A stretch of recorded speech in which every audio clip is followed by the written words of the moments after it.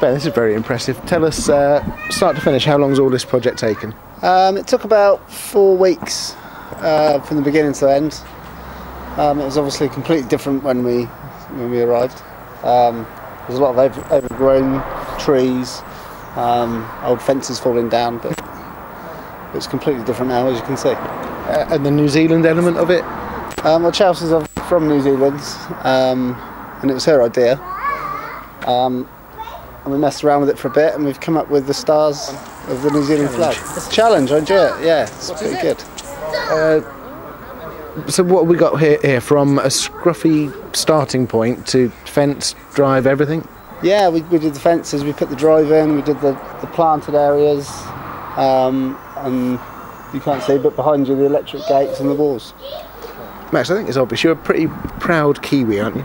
Yeah, uh, even though I only spent a couple of years over there when I was uh, uh, when I was young, I, I came over to England when I was when I was uh, say five years old. So, um, but yeah, still a proud Kiwi, obviously. Um, all my family's Kiwi, like, and uh, ended up playing for them in the end, and hopefully in the future. Yeah, That was last summer, wasn't it? Which was a fantastic experience. yeah amazing, especially to uh, like I say representing country, and that's amazing. Um, seeing a lot of uh, you know the Kiwi boys and that, really good. Yeah.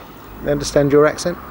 Uh, yeah, I pretend to sort of have one, so I put one on a little bit, but it's a bit of a fake one, yeah. So What's happened to the New Zealand thing? They, they, it was the World Cup last summer. Are they had games? Are, is there games this summer? Tournament? yeah, well, unfortunately, it's not like um, it's not as as uh, when, we haven't got as much many games, you know, say like in, in England, like a, a really really big nation football wise. So um, the next next for me is really the t- under 23s and the the full squad, um, and the 23s of course is the Olympics and uh, 2016. So.